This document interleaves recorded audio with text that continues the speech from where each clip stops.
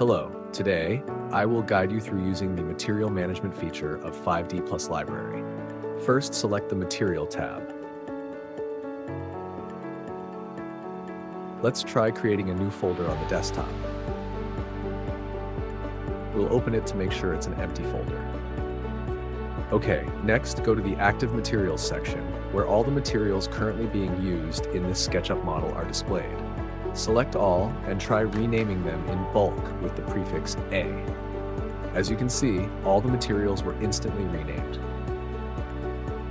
Now, I will click on a thumbnail to add some materials from the library into the model. The material tray has recognized the newly added materials and so has the active materials section of 5D Plus library. I will now try saving all the selected materials to an external folder.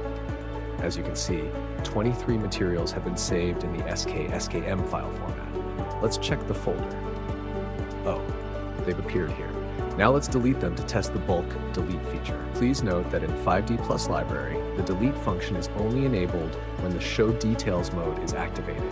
This is to minimize accidental deletion of assets. Now, we will try extracting images from these materials. Only six textures were extracted from the 23 selected materials. Why is that? Because only SketchUp materials containing textures can be extracted into images. The remaining materials are created using solid colors. Let's open the folder to check. Oh, here are the six images that were extracted. Next, I will move on to the tutorial on managing online library sources. Click the Online button and then add a new source. You can freely enter the name and URL that you want to add. Follow my example steps closely. The online library sources you've added will be saved as bookmarks. You can sort, rename, or remove them as you like.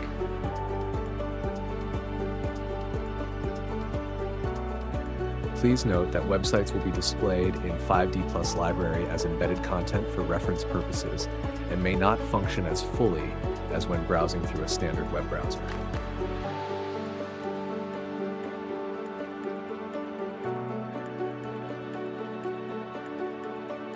Thank you, and see you in the next videos.